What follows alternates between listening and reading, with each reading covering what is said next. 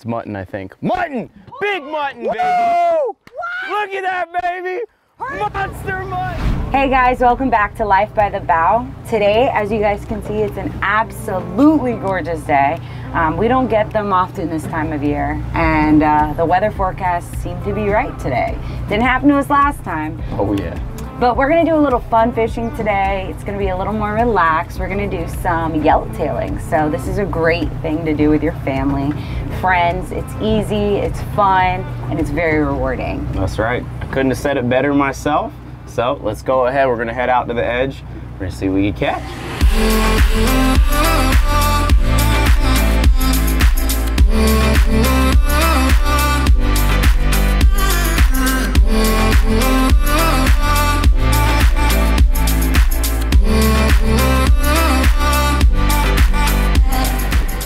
So right now we're pulling up to a spot and we typically use a sonar in order to locate like good spots for fishing, but we're speeding up time. We're gonna put Clay in the water. He's gonna look at the bottom, see if there's any yellowtail swimming around.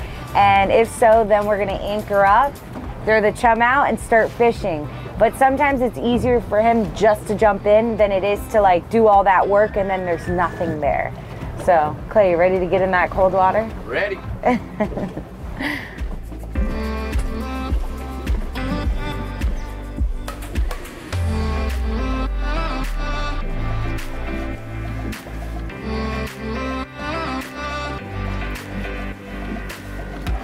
So the first dive was successful. Saw a big ball of yellowtail down there. So what we're gonna do is we're gonna set up up current, get some chum flowing, and see if we can get them up to the boat. So the most important thing before you guys are anchoring is you want to figure out how your boat is going to drift. The reason why is just because you throw your anchor in a specific spot, that doesn't mean that that's where your boat's going to stay. So what we did is we went up current from the spot that we just marked where those yellowtails were at. And what we did is we let the boat drift first. That way we know once we drop the anchor, we know which way the boat's going to go over that spot. You see, if you don't set up your drift before you anchor, you may throw your anchor and your boat may end up way off the spot. So the most important thing is before you throw, figure out which way the boat's going to go before you actually drop the anchor so that way you make sure that the boat sits right on top of the spot. So we figured out our drift and now what we're gonna do is we're gonna go up current from our drift, throw the anchor so that way we'll drift right back on top of the spot. All right, so here is the most important thing when it comes to yellowtailing is chum. So what we're gonna do is we got our big old mesh chum bag right here. I guess you could say chum hoop, so to speak. And we have those big holes just so we can get as much chum flowing as possible. And current is another thing that is huge. If you don't have current, basically whatever type of fishing you're doing is not gonna be successful, whether it's out on the reef, patch reef, yellowtailing like we're doing here, even offshore fishing. Current is the biggest thing and we seem to have some pretty good flow here. So we're gonna chum them up, see if they wanna cooperate today.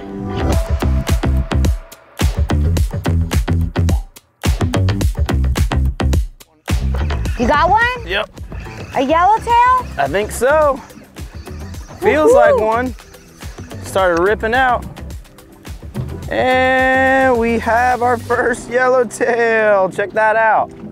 He's a little guy. So cute. But hey, that's a start right there. Yellowtail have to be 12 inches maximum tail length. And if you guys have ever seen us using our D-hookers in our videos, our D-hookers are actually 12 inches long, which make them perfect for yellowtailing. So all we have to do is we have to put the tip of the D-hooker to the tip of his mouth. And as you can see, he is short by about an inch, maybe inch and a half. So we're gonna throw him back, let him fight another day, see if we can get a bigger one. This, this is a fish right here. See how it's just going out like that? Oh yeah, that's a fish. Yeah, that feels like a nicer one too. Woohoo! Come on, baby. Be a legal yellowtail. Coming in relatively easy. He feels like the last one. We are using some heavy gear for him too. That one might be legal. Uh, we might have our first legal yellowtail here. Yeah, look at that one. That one is a nice one. So here we go, our first legal yellowtail of the day.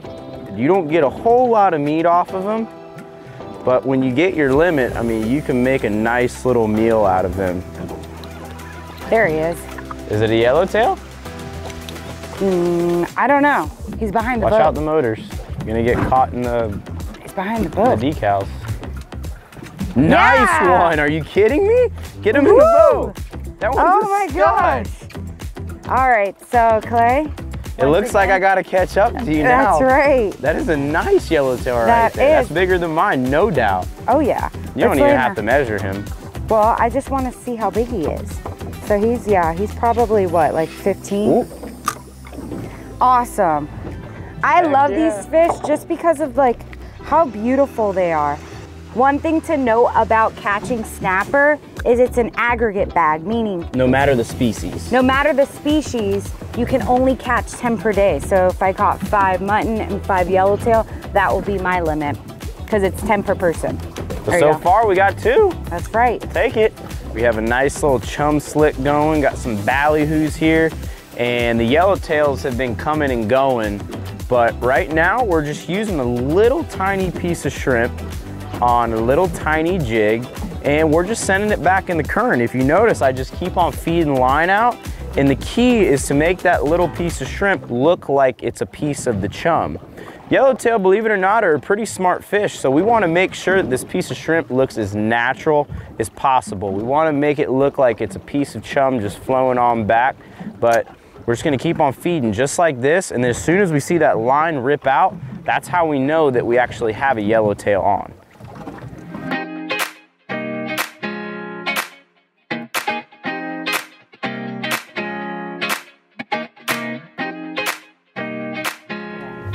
Some of the earliest memories I have of fishing is doing exactly what we're doing. You know, yellowtailing was something that I really enjoyed with my family, and I was a little girl doing it. It was something that was easy, and Anyone can do this. Yeah. It's funny that Stephanie says that because it's kind of the same exact thing for me. My earliest childhood memories of fishing was uh, mangrove snappers, which are similar to yellowtail. They're about the same size. And I remember my dad used to take me back in the mangroves, put out a little chum bag, some shrimp, and just sit in the channel all day. And he acted like he liked it, but he just enjoyed spending time with me out there. And it was really all about you. Exactly, exactly. He did it all for me, but mm-hmm. you know, it's cool when you get older and you can kind of take fishing to the next level. And it's just cool how I get to show my dad all the species that we catch now, and I get to take him with me and put him on the fish And now you're doing it with your wife, and hopefully we'll do this with, with our children. kids and our grandkids. Yeah. Boating's always been a huge part of our life, and mm-hmm. that's exactly where we met on a boat. Hundred percent at the sandbar. We Yeah. met at the Islamorada Sandbar, and here we are doing what we love for the exact same thing that we met doing. That's where Life by the Bow really started. That's right. Life by the booty when she was shaking her booty up on the boat at the sandbar. Got him. Don't put so much pressure. I know I'm loosening my drag a little bit. He doesn't feel like a very big one though. See, we're actually using oversized tackle for these yellowtails. This is a 6,500 Penn Slammer and 30 pound braid. So it's very easy to break these fish off if you're not paying attention. And sure enough, we got a yellowtail. Nice. That looks like legal, like a legal size. He looks like he could be.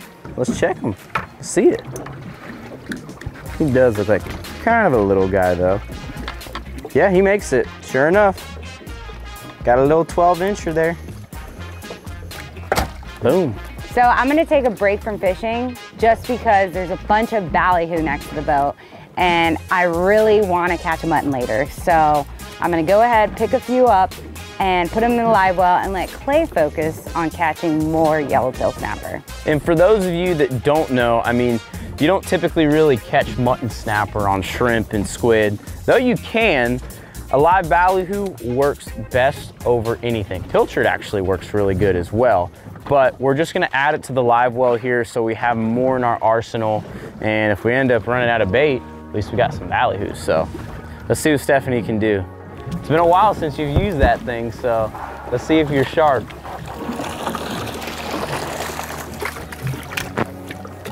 That's how you catch fish right here.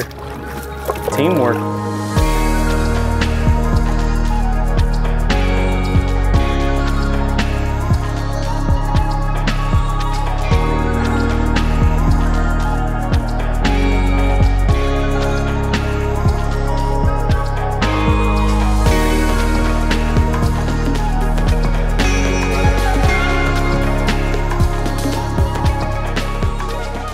So we just made a little move here. Unfortunately, we lost our yellowtail current. As we mentioned earlier, if you don't have the current, the fish, they just do not bite. However, we came out a little deeper here. We're at about 250 feet and the current's actually ripping out here. It's moving at about, not ripping, but it's moving at about a mile an hour, which is better than what we had uh, near towards the edge. So we're gonna drop down here. We're gonna use those ballyhoos that we had caught earlier as bait. So hopefully they are productive.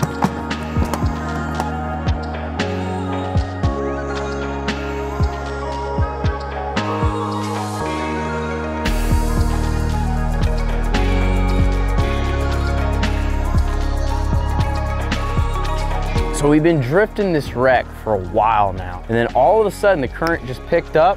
As soon as the current picked up, she got a bite. It's just so crazy. Current has so much to do with fishing. It's not even funny. But I'll tell you what, I love this. I get to watch her reel in the fish. I don't even have to do anything. And at the end of the day, I get to reap the benefits because I get to eat it when she cooks it. We've caught amberjacks here, muttons, um, trying to think of what else. There it is. Moment of truth. It's still fighting. I'm gonna I'm gonna walk forward to keep that line tight. Now reel, reel, reel, reel, reel, reel. There you go. Good job. It's mutton, I think. Mutton! Big mutton! Whoa! Look at that, baby! Monster mutton! Oh my goodness! Look at that!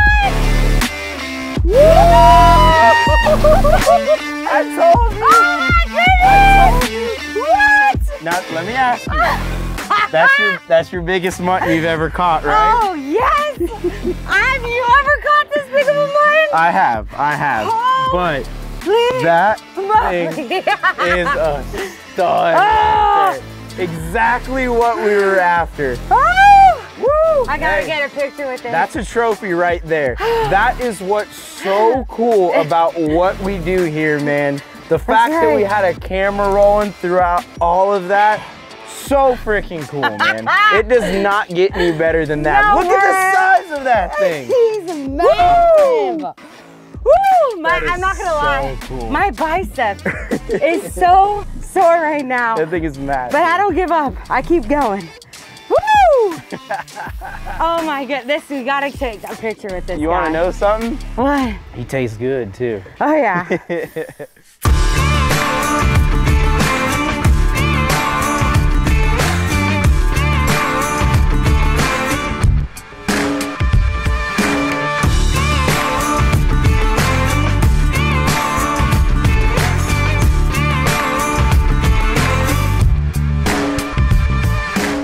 You know, it's funny, we were literally talking about it all day today, the current, man. I mean, the current is the difference between a good day of fishing and a bad day of fishing. And it doesn't matter where you're at. It could be inshore fishing, offshore fishing, you know, reef fishing, patch reef. But one thing I can say is as soon as that current shut off, we stopped catching yellowtail. And as soon as it turned back on, that's when we caught this mutton. And honestly, keep that in mind whenever y'all are fishing. If there's no current, you should probably move. That's a pretty good telltale sign. Go somewhere where you can find current.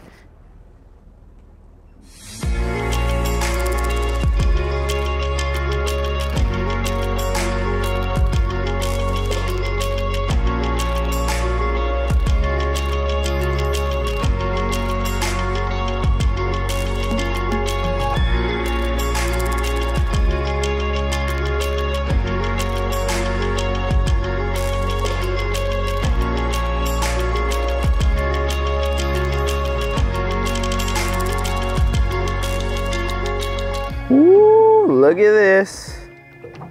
And look at that. What you got there? Ooh, I got some homemade ceviche. That's right. So we put the mutton snapper in the freezer and Stephanie decided that she wanted some yellowtail ceviche on our perfect day off here on the boat. Tell us how it is. Delicious. Words can't describe, huh? Mm-hmm. It was pretty simple. All I did was I chopped up the fish, obviously. Then I added some cilantro, some peppers, onions, lime, of course.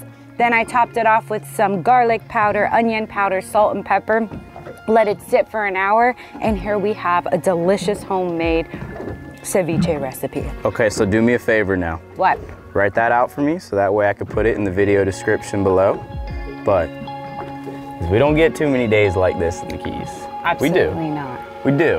However, a lot of the times we're working, a lot of the times we have things to do. However, today we decided to bring the camera out and film all of this because this is what we enjoy more than anything. I mean, it's a lot of work to go out on the boat, it's a lot of work to go out and fish, but just coming out here and just enjoying the fish that we caught, and especially in something as refreshing as ceviche, and just mm-hmm. being out here in the crystal clear water right off the coast of the Florida Keys and just relaxing.